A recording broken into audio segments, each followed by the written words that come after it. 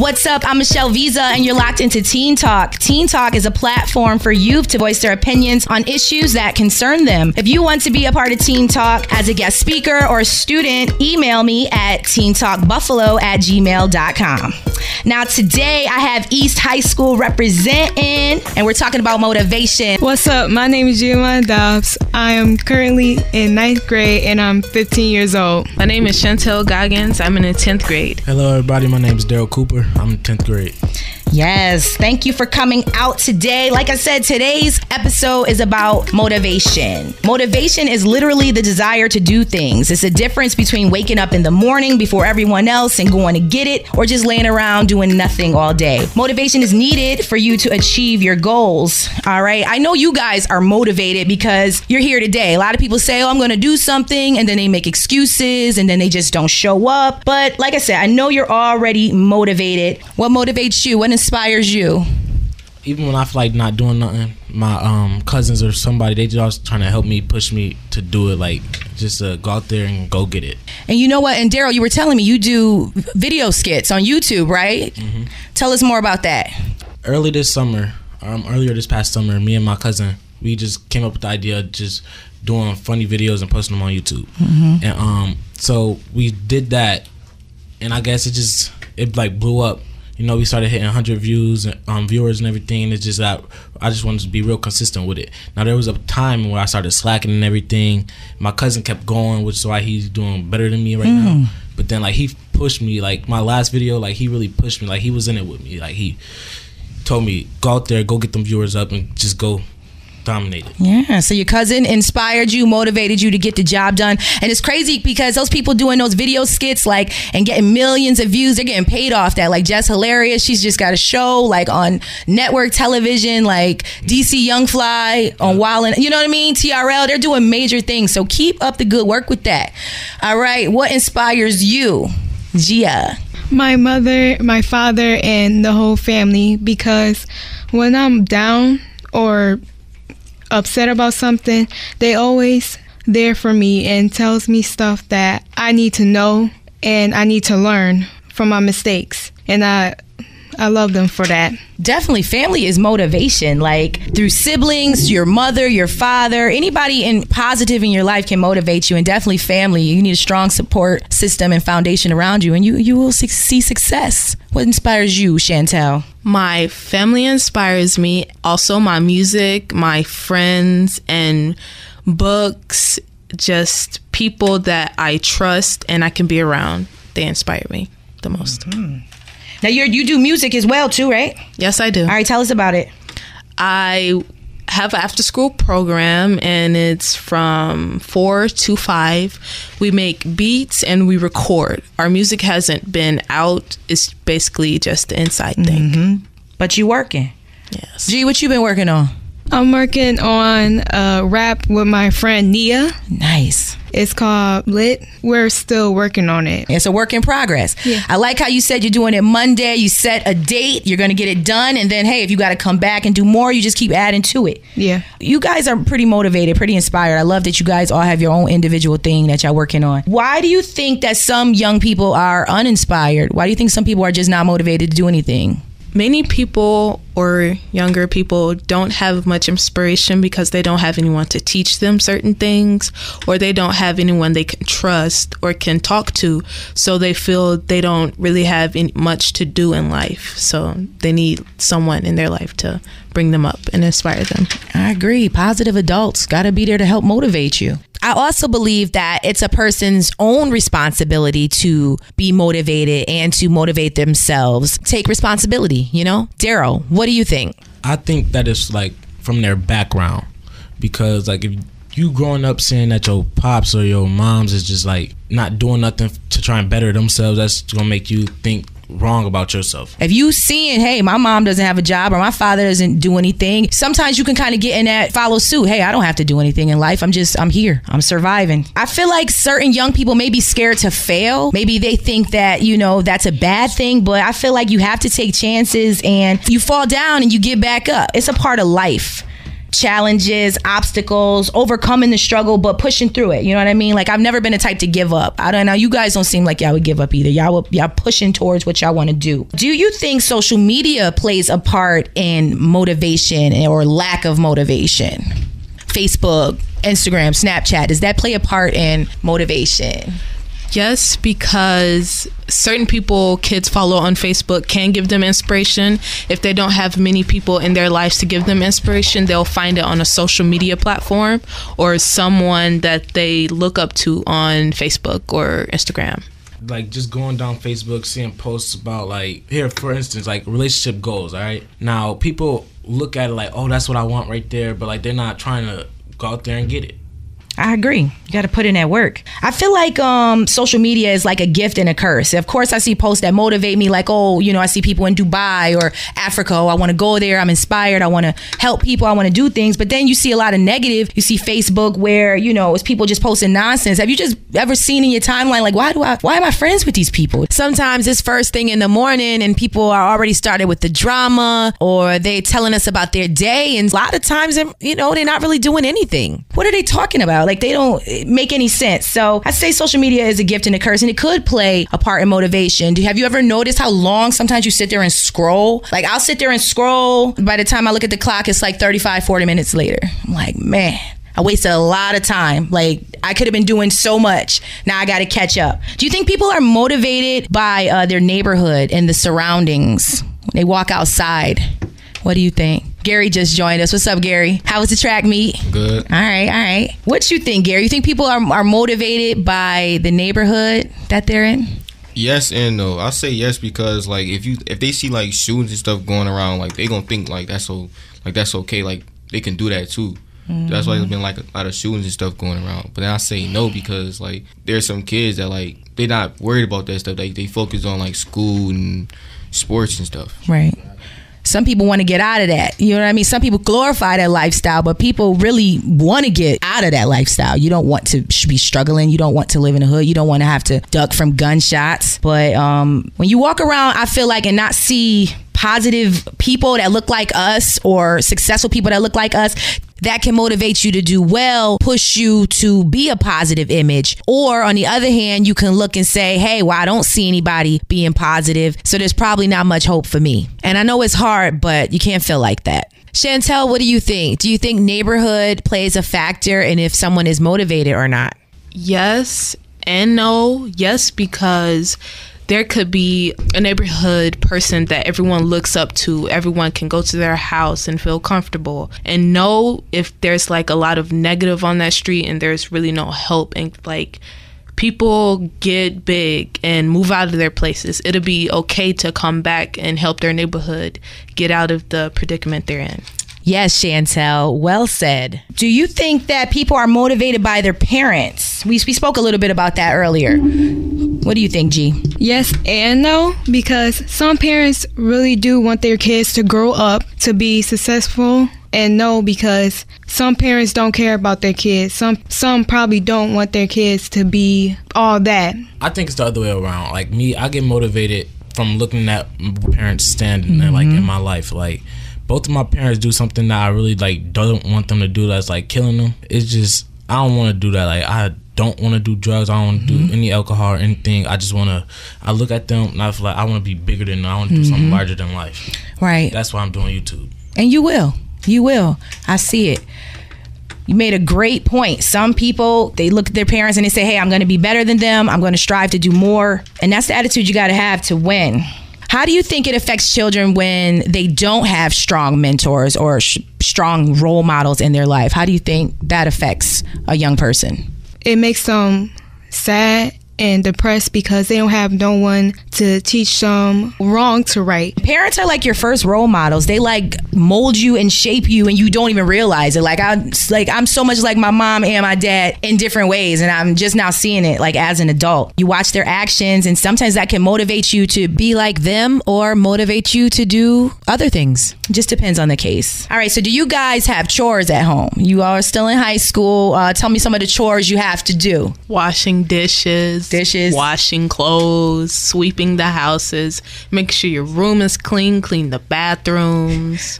Oh, you cleaning it all. clean the house, the porch, sweep the porch off and make sure the leaves aren't on there.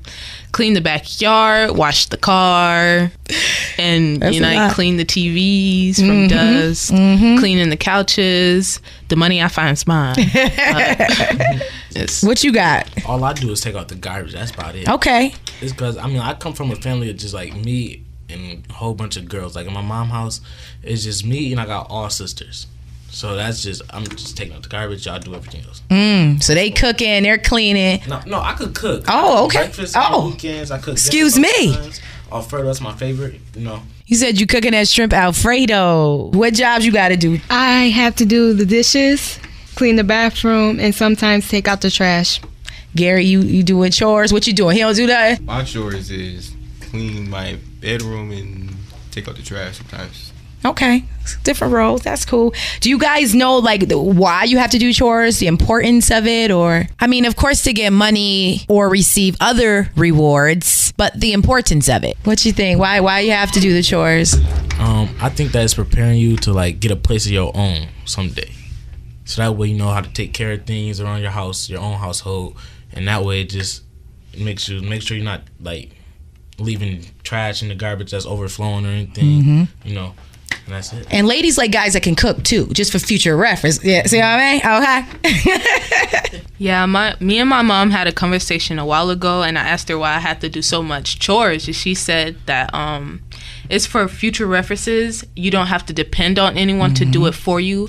You can do it yourself, and that you're experienced on it. And like for future, when she comes to my house, she don't have to do anything. I like that, Chantel. You're gonna take care of your mom, make sure she's good. You all had great answers to that, by the way. And you also helping your parents out, you know. They work hard, so they, they definitely need the help. Anybody working, trying to get a job, summer youth, tell me about it. What's your what's your jobs looking like? I have an interview tomorrow. Oh, yeah. and I'm I'm looking good. It's gonna be good. I want to mm. get this job. See, speaking uh-huh. into existence. I like that. She's gonna get that job. What about you? I want to get. I want to be in summer youth. I want to get a mm-hmm. job in summer youth. Did you apply? Did you get your application, all that stuff in? Not yet. All right, you gotta hustle. I yeah. know. Yeah, you gotta get it because you know they be cutting it off at a certain point, but make sure you get it in so you can get that job. Because those checks are good. They're good to have. They still ain't gonna want to spend their own money. You still gonna want to spend your parents' money. You gonna you want look. I left my money at home. I left my bank card at home. I know how y'all do. all right. What about you? What, what are you trying to get into the workforce? I was supposed to be working summer youth, but I chose not to because I went over to my grandma's house and the lady upstairs, Miss Rebecca, she was she asked my help. Well, I asked her like if she wanted my help to like garden the front yard in the backyard. So she Oh. told me, oh. yeah, she said I'll pay it, I'll pay you for it during the summer. So I was like, okay, and she pays really good, like Nice.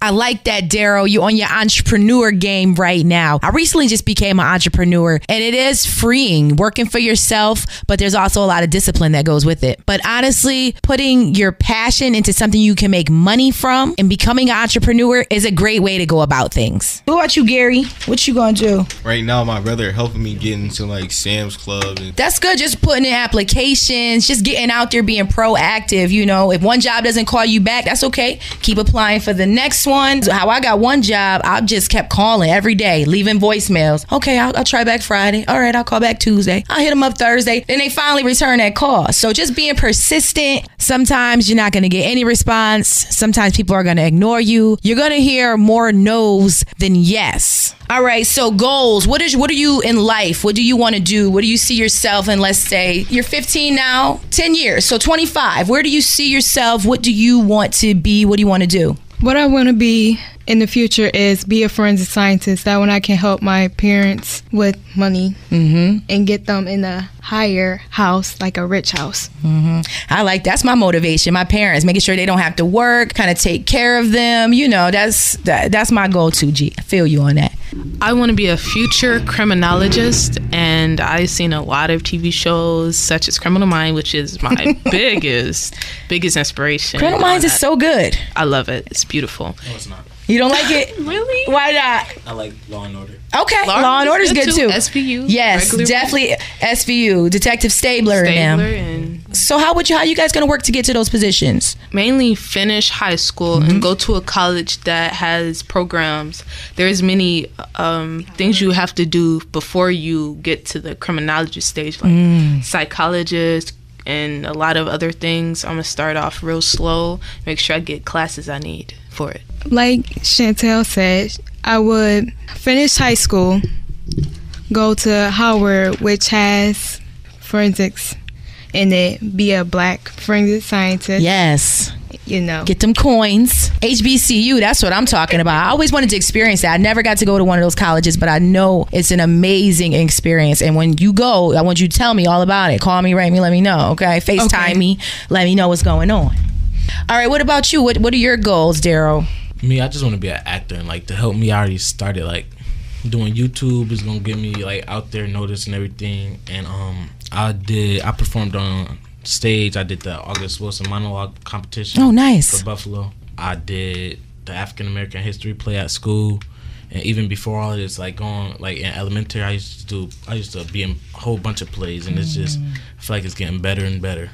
So you're putting yourself out there already. So that's good. So just keep going out there doing auditions, applying, you know, even getting out of the city and doing things. That's that's where it's going to be. Some people go to school for acting. So it's amazing. And I'm happy you are already doing YouTube. Keep getting those numbers up. What's your new YouTube channel? Daryl Cooper, D A R Y L C O O P E R. All right, Gary, what what are your goals? What do you see yourself in 10 years, let's say? I got like I got two decisions. Like I either want to be like to work in law enforcement or like I want to do something that has to do like sports. Like I want to be like sports management. Hmm. That's good. Good. I'm happy you have a like a backup plan. You have a, a plan A and a plan B. That's good. That's good to have. What's your favorite sport? Because you do them all. You're you're athletic. You're an athlete. Basketball. Yeah, I love basketball too.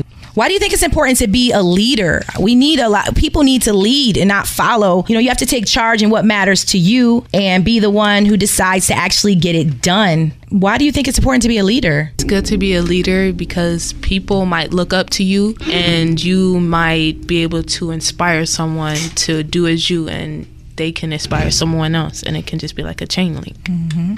I think that being a leader could bring out the motivation in others. Like, for instance, like me in my seventh period class, me and my friends, we like to goof around and everything. But like at a certain time during the class period, I just want to go get the work done. Then after that, goof around mm-hmm. later. Mm-hmm. And like me, once I stop goofing around, my friends stop goofing around. Once I get my homework, um, once I get my paper done, they start to get their paper done. Hmm. So I just like I like that.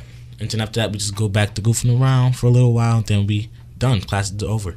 Y'all ain't too hard on the teacher, are y'all? Oh no no no. Please don't do them teachers like that. No, we we, don't, we just like making students laugh. But that's good. You are a leader, so you you be like, hey, let me get my stuff done, and they and they they follow suit. That's good, and they follow it in a good way. I like that.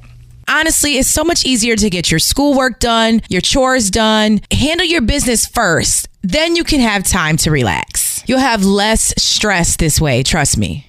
All right, so a lack of motivation could come from boredom. What kind of programs or events would you like to see for people your age? What are some things you guys like to do and you wish there were more of? Programs or like tournaments like they just have around like Buffalo and stuff. Like Mm-hmm. like tournaments like you really don't gotta pay, but like some some like people I be seeing people be on Facebook and stuff be wanting to go to the tournaments, but like nobody want to pay just to, to play basketball. Like Mm-hmm. Right. I wish it was like free tournaments so you can like just have fun. Have you heard of AAU? Are you do you participate in that that league? Yeah, AAU, and there's a couple others. Um, I'm gonna look into that for you. There's a, there's gonna be a bunch of stuff going on. My my cousin actually has Solid Prep Foundation, and he's awesome, an awesome, awesome coach. He's amazing. So I'm gonna, I'm gonna hook you up with his Solid Prep Foundation, and they've been traveling. They've been traveling, playing ball. They've been competing. So there are programs out there. We just have to do a better job as a community as getting that information out to to our children. I want Buffalo to one day just come together and put on like this big old play, like just audition people in Buffalo and just I don't know. I just love acting. Just, Right. I just want to. I don't know. And you know, it's play uh, movies. They've been shooting movies here, so Yes. we got to pay attention to that. I'm not sure as far as underage, how does that work? So that's something I got to look into. But you know, they shot The Purge. I was an extra in The Purge. I got me a nice check off The Purge. Okay, I can't wait. It comes out July 4th, and just an extra stand, standing around, and it was like um a, a party scene. It was shot right off of Delavan. They closed the whole um area down, so that was really cool. Just even get a glimpse of the side of my head if I'm in the movie. just show me. if not, it's still gonna be good. I'll be happy happy to watch. So, and they also have like acting camps. I know that this Saturday they're supposed to be doing something. I seen this post on Facebook, like they just doing auditions for like Disney Channel, Nickelodeon Mm-hmm. this Saturday. So I'm gonna be going there, me and my little brother, and I'm hoping my cousin go with me. Okay, that's good. That's a start. You've seen something. Keep your eye out there for that stuff, and always apply. Go ahead, G. like a forensics camp. That way you can see what you need to be as a forensic scientist. And it's so many young people that love Criminal Minds, love Law and Order. If they had something like I, we went out to Hilbert not too long ago, and they have like a whole like crime scene. They had the mannequin on the floor. He had like blood on the floor. Like if they did something like that, I think that that's a great idea. I think they if they open that up to to young adults and young people that are interested in that field, it would get them even more excited to continue to keep going. So the forensics camp, that's awesome. I think something that'll help people that want to be in like criminologist and help them with each stage they need and extra credits and things that you can put under your belt. So when you do get to college and for the classes, you will know a little something. that will actually help your transition from high school to college and help you be more prepared. Those kind of programs will help y'all get into the field that you want to study. So basically, what y'all saying, y'all everything that y'all interested in, y'all want to participate in programs like that mm-hmm. and learn about. So that's the things, things that you're passionate about. When you could turn that into a way to make money and your career, that's amazing. I want like something like just a talent show. Let's say a talent show, not like for a competition. or Nothing. I just like just something to bring the neighborhood, the community together. Just to perform, have a good time. Daryl, you might have to think about becoming your own promoter, putting together your own event. It's hard because people have a stigma about young people. They feel when they get together that they can't gather peacefully, that they're always going to be fighting one another. You know, sometimes, oh, I seen you looked at me wrong. You stepped on my shoe last week. We about to get it in, and then it ruined the whole event for everybody. So it's it's it is hard to sometimes get together and do uh, events like that. But I, but there are a lot of events going on. Again, we just have to do a better job as a community of getting them out there and getting them young people in there. Y'all go to Saturday Academy and stuff at the school, and isn't it great programs there? Like it's a lot going on. But some people who are unmotivated, are they going to show up? How many people that y'all see every day that don't that don't come in on a Saturday? It's a lot. Many people I see on a regular basis, they're never there. Like people I don't see at all are the ones that there. Do you think that's just because they don't know that it's offered, or you think they just they're unmotivated? They don't want to They're get up and do it. Mm. unmotivated, and they are tired or they're just lazy or don't have any motiva- motivation to get up out of the bed. That is kind of my problem. I don't like getting out of the bed. Me either. But what we got to do? You got to get up and do what you got to do. Let me tell you, my day starts probably if I go to my 5 a.m. workout class, then my day starts at 4:50. I'm up 4:40 out like out the house. So it's like I get up very early and do multiple things during the day, but I just like I get it out the way. It's stuff that got to be handled. I can rest when I get home. I can rest later. You know what I mean? That's how I look at it. You know, somebody told me a long time ago, chill, don't pay the bills. So I got to go, you know what I mean? You, could chill later, but you got to go out and get it. All right, so what's in your playlist? In my playlist right now is J. Cole's KOD album, and I've been listening to the track 1985. Have y'all heard that album? The album's crazy. But in my playlist right now, 1985, he's kicking a lot of knowledge to the to the youth, to the to the new school, and I, I'm feeling it. What's in your playlist? Actually, it's Nicki Minaj, Chun Li. Oh, that Chun Li. Okay, Nikki just broke. She's breaking records, man. She's had I want to say like 86 songs on the Billboard charts. What's in your playlist, Chantel? In my playlist, it's Eminem Framed. I, I like love that. Eminem. He is a lyrical genius to me. Eminem definitely spits. And did you see him? He, he just performed at Coachella last week, um, this past weekend. And do you know he signed guys from Buffalo, Westside Gunn and Conway, Benny, who are my personal friends. Shout out to those guys. They're amazing. And they're, you know, Eminem signed them to a deal. What's in your playlist, Daryl? I don't really listen to music, but like whenever I do, I just I listen to it in the car, and I guess my cousin now she, my older cousin, whatever, she wanted me to listen to some Cardi B, right? Mm-hmm.